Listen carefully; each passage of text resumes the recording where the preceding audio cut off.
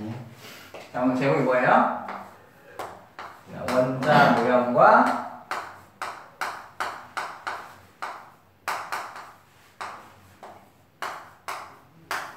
원자 모형과 전자 배치다라는 거예요.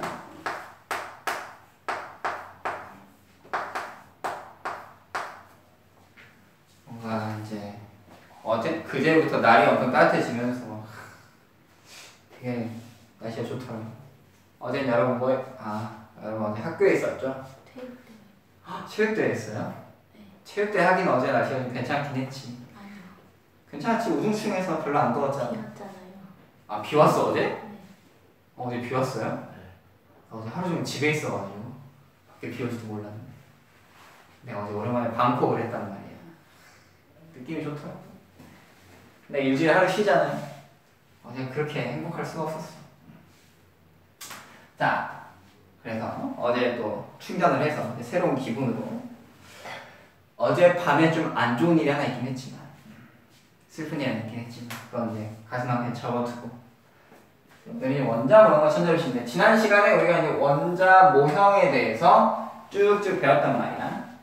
자, 어, 원자 모형의 변천 최초로 이제 현대에 들어가지고 현대에 들어서 최초로 원자로 이루어져 있다. 물질이라고 하는 건 쪼개다 보면 원자로 이루어져 있다 라고 했던 게 누구였어요? 돌턴이었죠. 돌턴. 그래서 공 모형의 원자를 제시했고 그 뒤에 톰슨이 푸딩 모형 러더퍼드가 행성 궤도 모형 그리고 보어에 이르러서 보어가 어떤 실험으로 수소의 선 스펙트럼 실험으로 전자 껍질 모형 그리고 그 이후에 여러 과학자들 의 증명에 의해서 현대의 원자 모형 오비탈이라고 하는 오비탈이라고 이용한 전자를 확률을 표시한 전자 구름 모형까지 우리가 이렇게 원자의 변천이 있었다라는 거지. 근데 우리가 이 원자 모형을 얘기를 할 때 결국에는 중심에는 누가 있고 중심에는 누가 있고 원자 핵이 있고 그 주변에 뭐가 있는 거야? 그 주변에 누가 있어요? 가운데 이제 원자 핵이 있고 그 주변에 전자가 있잖아요. 이렇게 있을 때 그러면 이 전자라고 하는 거는 어떠한 원리, 어떠한 규칙에 의해서 원자의 주변을 돌게 되느냐라는 거지. 어떠한 원리에 의해서 원자의 주변에 배치가 되느냐라는 거예요. 그게 바로 전자의 배치죠. 원자에 대해서 이제 전자 배치가 어떻게 이루어지느냐. 그래서 우리가 지금 현재 원자의 모형은 뭘로 쓴다? 현대 원자 모형, 전자 구름 모형을 쓰게 되는데 그 이전에 우리가 더 자주 쓰는 모델은 뭘 쓴다? 보어의 원자 모형을 쓴다라고 했어요. 왜? 왜 보어의 원자 모형을 써요? 표현하기가 편해서. 그쵸? 그럼 보어는 이 전자 배치를 어떤 형식으로 이루어내었느냐라는 거지. 자, 보어는 뭘 얘기했어? 원자 핵이 있으면 그 주변에 불연속적인 궤도를 가지더라. 전자는 불연속적인 궤도로 회전하고 있더라. 그래서 전자 껍질을 제시를 했죠. 제일 안쪽에 무슨 껍질? K 껍질을 시작으로 K, L, M, N 이런 식으로 알파벳 순으로 배치가 된다라고 했어요. 그럼 왜 하필 K였느냐라는 거지. 여기는 두 가지 설이 있어. 두 가지 설이 있다라고 하는데 하나는 껍질을 뜻하는 그 의미가 카파. K에서 카파라고 하는 그 단어에서 따왔다. 그래서 K라고 하거나 혹은 이제 과학자들이 기존의 실수.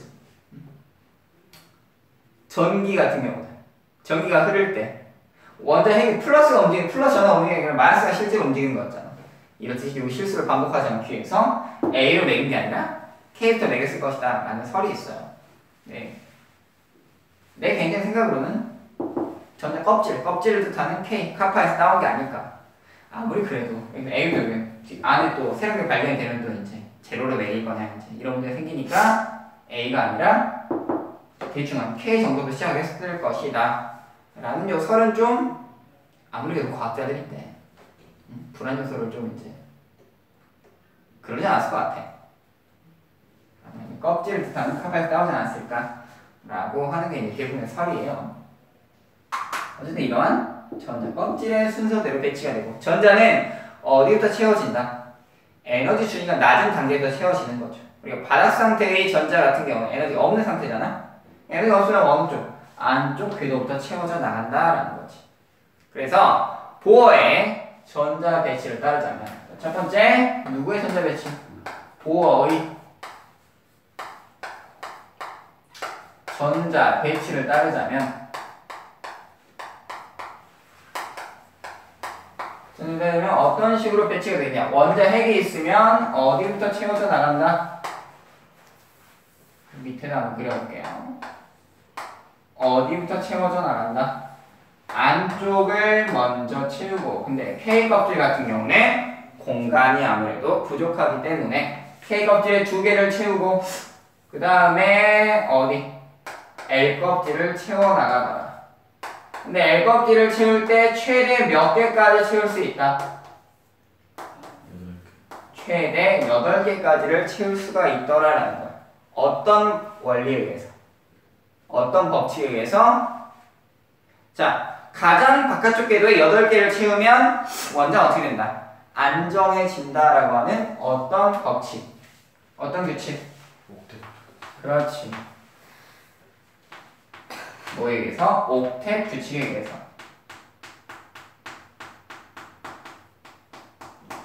채워져 나가더라라는 거. 그러니까 8개 채웠으니까 또그 다음에 8개 채우고 또 그 다음에 8개 채우고 이런 식으로 반복해 나가는 거지. 따라서 보어의 전자 배치에 따르자면 보어의 전자 배치에 따르면 어떤 식으로 전자 채워지더라? K 껍질은 최대 몇 개? 두 개를 채우고 L 껍질에는 최대 몇 개? 8개를 채우고 M 껍질은 최대 몇 개? 8개를 채우고 이런 식으로 쭉 가게 되더라라는 거죠. 그쵸? 이런 식으로 채워 나갈 수가 있더라. 그럴 때 이 가장 바깥쪽에 있는 바깥쪽 궤도에 채워진 이 전자를 뭐라고 불러요? 원자가 전자라고 부르지. 혹은 체외각 전자라고 하죠. 원자가 전자라고 부르잖아. 그쵸? 이렇게 배치가 된 걸 확인할 수가 있다. 따라서 요 보어의 전자 배치로 우리가 원자를 그러면 표시를 해보자면 원자의 전자 배치를 표시해보자면 이렇게 표시할 수 있다. 예를 들어 이런 거예요. 자, 리튬 있어요, 리튬. 리튬은 원자 번호 몇 번? 원자 번호 몇 번? 3번이죠. 원자 번호 3번이니까 이 리튬을 표시를 한다면 어떻게 표시할 수 있느냐? 자, 리튬이 원자 번호 3번이라는 얘기는 양성자가 몇 개다? 양성자가 몇 개 있어요? 세 개 있죠, 세 개. 그러면 원자는 전기적으로 중성이니까 전자도 몇 개 있다? 세 개 있더라. 따라서 얘를 바닥 상태의 전자를 표시하자면 K 껍질에는 전자가 몇 개 들어있고 두 개 들어있고 L 껍질에는 몇 개 들어있다? 한 개 들어있다. 이런 식으로 나타낼 수가 있는 거죠. 그쵸? 그 다음에 산소. 산소는 원자번호 8번이죠. 8번이니까 나타내보자면 K 껍질에는 몇 개? 전자가 두 개 있고 L 껍질에는 몇 개 있다? 여섯 개가 있더라 라고 이렇게 표시를 할 수가 있는 거죠. 그 다음에 뭐 칼슘이 있습니다. 칼슘. 칼슘은 원자번호 몇 번? 20번이에요. 20번이니까 이걸 표시한다면 어떻게 표시할 수 있어? K 껍질에 몇 개? 두 개. L 껍질에 몇 개? L 껍질에 몇 개? 여덟 개. M 껍질에 몇 개? 여덟 개. 그 다음에 N 껍질에 몇 개? 두 개. 이렇게 있으면 칼슘의 전자 배치를 나타낼 수가 있다. 근데 우리가 원자과 전자를 생각했을 때 얘네가 안정해지기 위해서 안정해지기 위해서 안정해지기 위해서는 어떻게 해야 돼? 전자를 옮겨야 되잖아요. 전자를 옮겨야 될 거 아니야. 따라서 전자를 옮겨보면 리튬 같은 경우는 가장 바깥쪽에 한 개 있으니까 얘를 버리는 게 안정화되기 좋죠. 따라서 리튬 이온이 되고 나면 전자배치 어떻게 돼요? K 껍질에 두 개. 로 나타나게 되고 그 다음에 산소 같은 경우는 어때?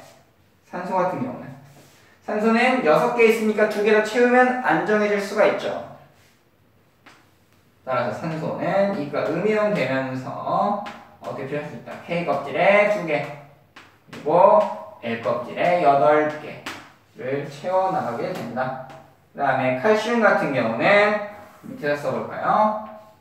밑에 써본다면 칼슘 같은 경우는 원자근자 두 개 있으니까 얘네를 버리는 게 안정화되기 좋더라. 그래서 20번인 칼슘은 2가 양이 되고 그 다음에 전자배치를 보자면 K 껍질에 두 개, L 껍질에 8개, M 껍질에 8개 이렇게 채워 나가 볼 수가 있다라는 거지. 알겠습니까? 근데 요 보호의 전자 배치. 보호의 전자 배치는 자, 각 껍질마다 이제 최대 수용 전자수라는 게 있어요. 최대 수용 전자수. 요 최대 수용 전자수는 뒤에 가서 이제 오비탈에서 다시 한번 정리를 하겠지만 우리가 보통 이 n을 제곱으로 표시합니다. 이 n을 제곱. 이때 n은 뭘 얘기하는 거야? 주양자 수를 의미하죠. 주양자 수. 그래서 어떻게 되냐? 2, 8, 16, 32, 어, 16? 아, 18, 32 이런 식으로 가죠. 16이 아니라 18, 6번네. 18 이렇게 가는 거죠.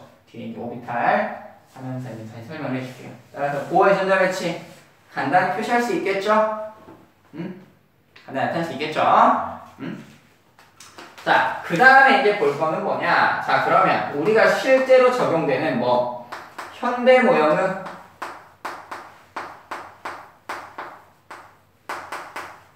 현대 모형에서의 전자 배치가 중요한 거지.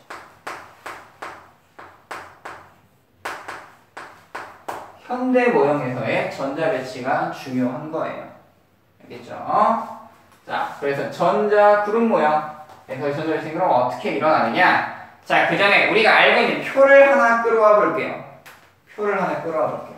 현대모형 지금 이제 뭘 오비탈을 오비탈을 가지고 나타내야 되니까 오비탈 여기 나타내야 되니까 자 표를 우리가 이제 기존에 그렸던 표를 가지고 한번 살펴봅시다. K L M N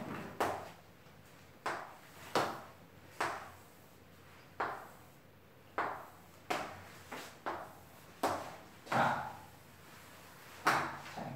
첫 번째 주양자수 주양자수입니다. 우리가 보통 n으로 표시를 하죠. n으로 표시를 하죠. 주양자수는 k 값이 얼마? 1, l은 2, m은 3, n은 4. 보통 이렇게 표시하잖아요. 자, 그렇게 되고 그때 가질 수 있는 오비탈의 종류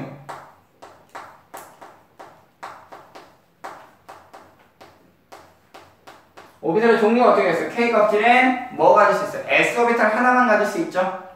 그래서 뭐 1S 하나만 있는 거고 L 껍질은 중앙성 2니까 두 가지 가질 수 있죠?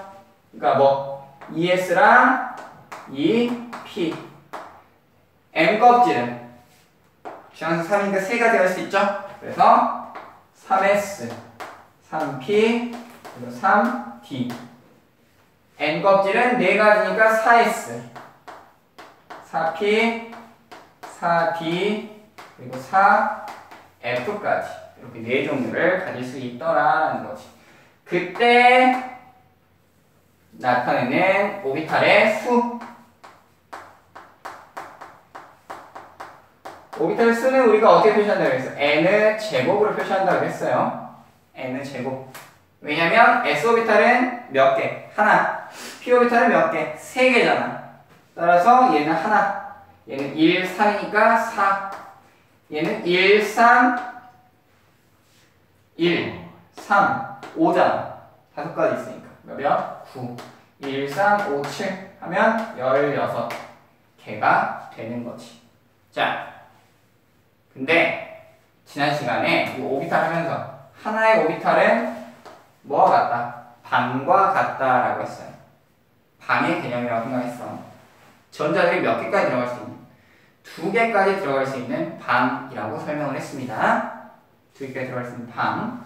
따라서 이때 방을 표시하면 즉 이제 뭐가 되는 거야? 전자 그럼 몇 개까지 들어갈 수 있느냐라는 거지. 자, 이거를 뭐라고 얘기하면 최대 수용 전자수라는 거지. 그럼 여기는 하나의 오비탈이 있으니까 전자가 최대 몇 개 들어가요? 두 개. 여기는 몇 개? 여덟 개. 여기는 몇 개? 열여덟 개. 여기는 몇 개? 서른두 개가 들어갈 수가 있다라는 거지. 근데 봤더니 뭐랑 같아? 2를 곱해준 거랑 같더라라는 거지. 근데 오비탈 수를 n은 제곱으로 표시를 하니까. 주양계수의 제곱이 그 전체 껍질에 갈 수 있는 최대의 오비탈의 개수니까. 이건 뭘로 나타낼 수 있어? 이 n은 제곱으로 우리가 나타내 볼 수가 있겠더라라는 거죠. 알겠나요? 그래서 이렇게 우리가 나타냅니다. 이 표가 어디 나와 있어? 81페이지 위쪽에 나와 있는 표죠. 자, 우리는 지금 80페이지를 설명하고 있어요. 80, 81. 자, 여기 이해돼요? 응? 이렇게 나타낼 수가 있다는 거죠. 그럼 아까 보호 같은 경우는 전자 배치를 할 때 어떤 원리에 의해서 전자 배치를 했어? 안쪽 궤도부터 하나씩 채워나갔죠. 왜 안쪽부터 채웠어요? 왜냐면 안쪽이 뭐니까? 에너지 준위가 작으니까. 그리고 수소 같은 경우는 주양자 수가 같으면 에너지 준위에 차이가 있어 없어? 차이가 없었잖아요. 근데 헬륨 이상의 다전자 원자 같은 경우는 어때? 오비탈의 종류에 따라서도 에너지 준위 차이가 발생을 했잖아요. 자, 그래서 어떻게 그러면 전자 배치를 할 수가 있느냐? 지난 시간에 전자 배치가 어떻게 되더라? 1s 다음에 2s 오고 2s 다음에 2p 오고 그 다음 3s 오고 3p 온 다음에 4s 오고 3d 오고 이런 식으로 나타낸다고 했잖아요. 그래서 이 전자 배치하는 방법 표시 방법은 두 가지가 있어요. 뭘 이용해서? 자, 첫 번째는 뭘 이용해서? 그림을 이용해서 나타내는 방법이 있고 두 번째는 뭘 이용해서? 기호로 나타내는 방법이 있습니다. 기호로 나타내는 방법이 있어요. 그림을 가지고 어떻게 나타내느냐? 자, 이렇게 오타리 있으면 이거를 화살표로 이런 식으로 나타낼 수 있는 방법이 있고 기호로는 어떻게 나타내요? 예를 들어 E, P, X 이런 식으로 표시를 하는 거지. 알겠어요? 그 다음에 아 하나 빼먹었구나. 여기에 E 뭐 이런 식으로 써요. 응? 알겠죠? 응? 그럼 이제 각각의 듣고 있지? 어. 이 기호 같은 경우는 이제 원리만 설명을 할게. 여기 앞에 있는 이 2는 뭘 의미해요? 여기는 어, 그래서 주양자수입니다. 주양자수. 주양자수를 의미해요. 여기는 P는 뭘 나타내는 거야? 자, 오비탈의 종류입니다. 다시 설명할게요. 그 다음에 여기 얘는 뭐야?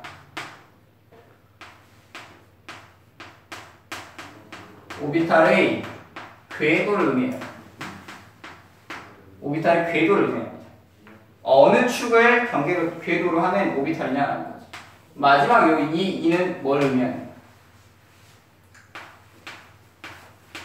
오비탈에 채워진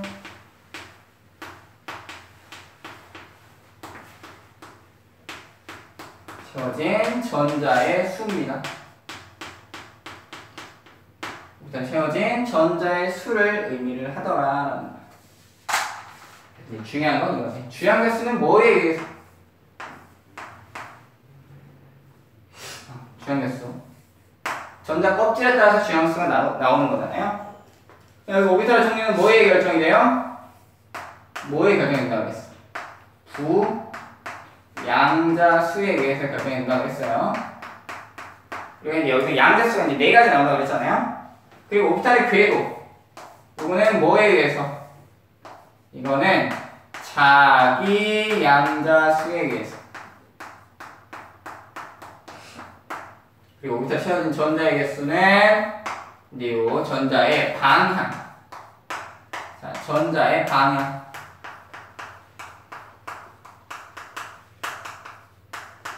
뭐라 그랬어? 스핀 양자 수에 의해서 결정이 된다라고 했습니다.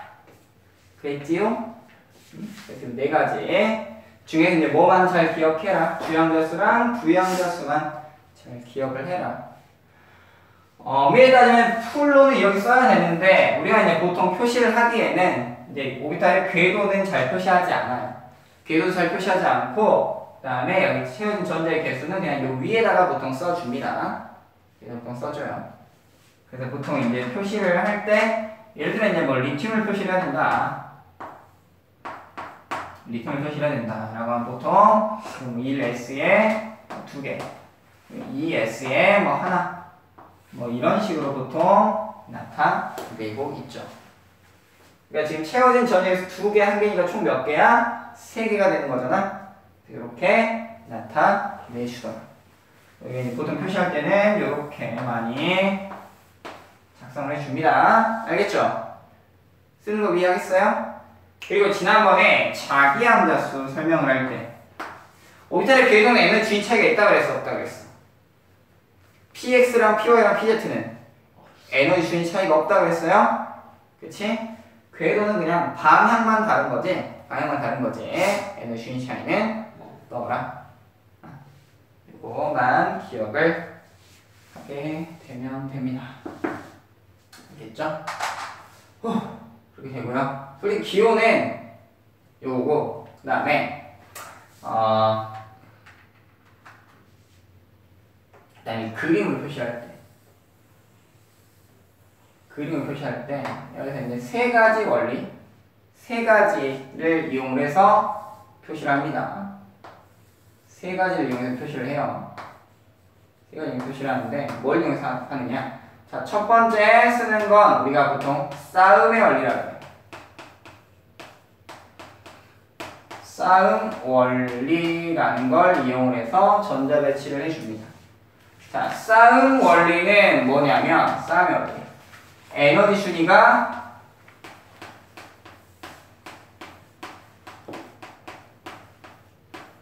에너지 순위가 낮은 곳에서 낮은 단계부터 높은 단계로 차근차근 쌓여가듯이 우리가 이제 건물을 세울 때도 건물을 위에서 되게 쌓습니까? 지붕 만들고 그 다음에 기둥 만들고 뿌리 박나요?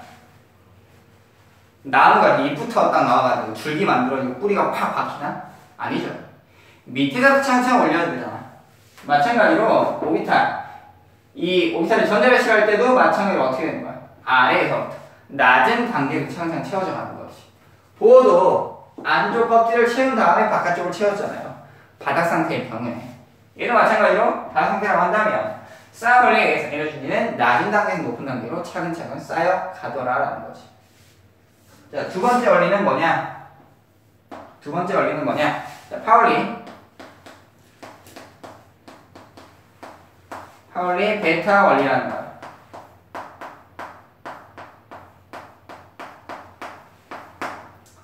파울리라는 사람이 얘기를 한 건데, 파울리 베타 원리는 뭐냐?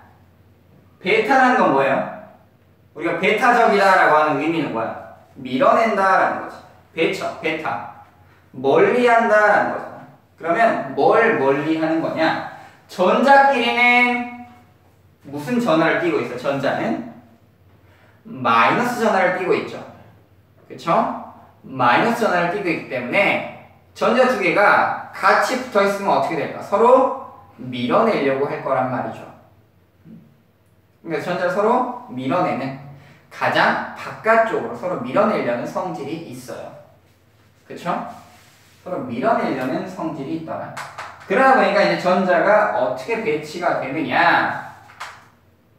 이게 오비트는 전자수라고 그랬잖아. 같은 방에 있더라도 얘가, 얘네가 어떻게 되는 거냐면 파리 베타올이 그림을 설명하자면 이런 거야. 예를 들어 전자가 이렇게 같은 방향으로 회전을 할 수가 없고 그리고 하나의 오비탈에는 전자가 최대 몇 개 들어간다. 두 개 들어간다 라고 했잖아요. 두 개 들어간다. 그렇기 때문에 이런 식으로 배치되는 경우도 없다라는 거지. 그럼 올바른 전자 배치는 어떻게 된다? 하나가 위쪽 방향으로 회전을 한다면 이거는 아래쪽으로 회전을 한다라는 거지. 이게 뭐야? 파울리 베타 원리더라라는 거죠. 알겠습니까? 음? 이게 파울리 베타 원리예요. 다음 세 번째 뭐가 있냐? 세 번째는 훈트 규칙이라는 게 있어요. 훈트 규칙이라는 건 뭐냐? 훈트 규칙은 말 그대로야. 말 그대로. 에너지 준위가 같은 전자가 배치가 될 때 어떻게 배치가 되냐? 홀전자 수가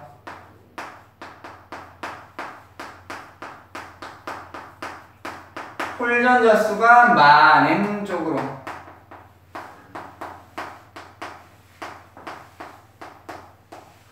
배치가 된다라는 거지. 에너지가 같은 전자의 배치라면 홀전자 수가 많은 쪽으로 배치가 되는 거야. 즉 어떤 식으로 배치가 되는 거냐? 자, 예를 들어 2P라고 해봐. 2P 오비탈을 해봐요. 보여요? 안 보여? 혹시 안 보일까 싶어서. 2P라고 하면은 전자 어떻게 채워져? 얘를 채우고 나서 이렇게 채우는 게 아니라 채우는 게 아니라 어떻게 된다? 옆방을 채우는 거지. 또 옆방을 채워. 그래서 이렇게 채우는 거지. 만약 여러분에게 수학여행 가서 수학여행 가가지고 방을 선택을 하라고 시켰어. 방을 선택을 시켰어. 내가 방을 예약을 했는데 방을 예약을 했는데 내가 방을 세 개를 예약을 했어요.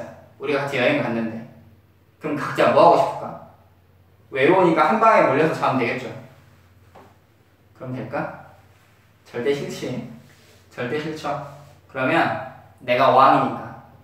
어? 내가 왕이니까. 내가 좀 나이 많아서 내가 방 두 개 쓰고 여러분 둘이 한방 쓰세요라고 하면 여러분이 어 그래요 한 방 쓸게요 할까? 절대 안 그러겠지. 뭐라고 하겠어? 내방 내놔 내방 내놔 할 거 아니야. 그리고 선생님은 저쪽 방 가서 주무세요. 난 넓은 방 쓰렵니다. 할 거 아니야. 그러겠죠? 그치? 그러겠지. 그게 사람 심리야. 사람은 뭐 하고 싶어? 혼자 있길 좋아해요. 혼자 있길 좋아해. 그냥 옆에랑 막 없는 단짝이어가지고 가서 붙어있잖아요. 전자들이잖아, 전자들. 서로 뭐해? 밀어낸단 말이야.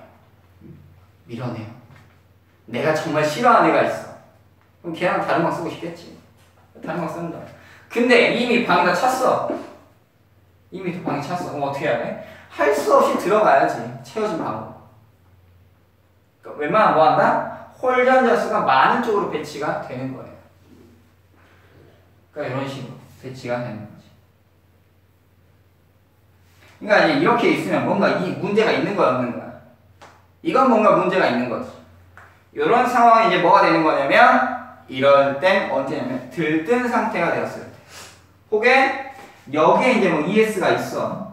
근데 여기를 안 채우고 여기서 채웠다. 이런 건 뭐냐면 뭔가 문제가 있다. 에너지 순위가 낮은 단계가 싸움의 원리가 적용이 되었잖아. 근데 이미 단계 뛰어넘어서 그 다음 채워버렸다면 이거는 뭐 무슨 상태다? 들뜬 상태의 전자 배치가 될 것이다 라는 거죠. 그러니까 쌓음의 원리나 훈트 규칙은 뭐일 때? 에너지 준위가 높은 단계인 들뜬 상태가 되었을 때는 깨지는 경우도 발생한다라는 거예요. 근데 파울리 배타 아니 내가 방금 뭐라 그러냐 쌓음의 원리랑 훈트 규칙이라고 했나요? 내가 파울리 베타라고 했냐 방금? 어. 자 아, 다시 싸움의 원리와 훈트 규칙은 전자가 들뜬 상태가 되면 깨질 수도 있지 깨진 경우도 있겠죠 근데 파울리 베타는 깨지면 돼 안 돼? 이건 절대 깨지면 안 되는 거예요 이건 무조건 적용이 돼야 돼그 상태 되면은 싸움의 원리 훈트 규칙은 깨질 수도 있더라. 알았냐, 알겠나요? 눈 감고 좀 감상하고 있어, 지금. 내 목소리가 좀 감미롭지. 알았어. 그럼, 그럼 이상한 표현 짓지 마. 이상한 농담 안 할게. 아니, 눈 감고 있길래 내 목소리 감상하는 줄 알고.